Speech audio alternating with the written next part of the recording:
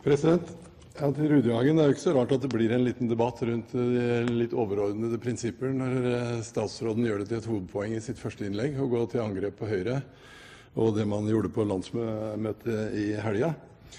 Eh, Så, så da må det jo bli en litt eh, overordnet debatt. og Det er åpenbart at Høyre er opptatt av miljøvern, som forrige taler også sa. Det ligger i konservatismens natur at man skal ta vare på å utvikle det man har, innenfor bærekraftighet og uten å ødelegge noe som helst.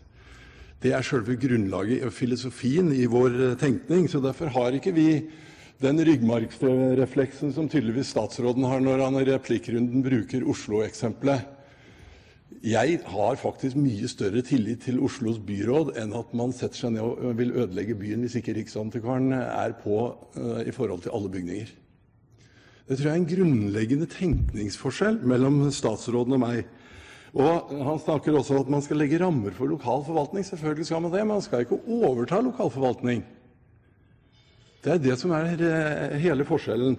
Og, Siden statsråden har sånn mistillit til det lokale selvstyret og i og for seg eiendomsretten, så vil jeg spørre statsråden om han har noen veldig gode eksempler på at statlig, sentral styring er det som er god miljøpolitikk.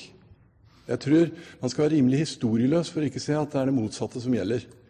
Eiendomsretten og lokalt selvstyre sikrer et mangfold. Den sikrer at ikke alle går i feil retning, hvilket statlig styring ikke gjør.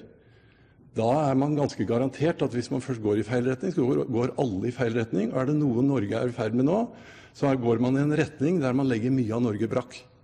Nettopp fordi statsråden sitter i Oslo og har Oslo-perspektivet på alle utfordringer. Og det er dramatisk for alt annet enn det som ligger innenfor en liten flekk rundt Oslo. Det begynner å bli dramatisk for Oslo, og derfor har vi vel fått såpass fokus på det. Antageligvis. Men, men jeg vil eh, ta sterkt til motmæle mot at vi ikke er opptatt av miljøvern. Men vi er opptatt av at tillit og ansvar skal ligge ute lokalt. Det skal tilhøre eiendomsretten. Og så skal en statlig etat komme inn med korreksjoner da det, hvis det blir for ille. For det, jeg skal innrømme det, det, det fins eksempler der. Men de blir aldri så ille som når staten går i gæren retning. Og Det tror jeg vi skal kunne peke på så mange gode eksempler på at jeg tror statsråden skal få problemer i den debatten. Takk.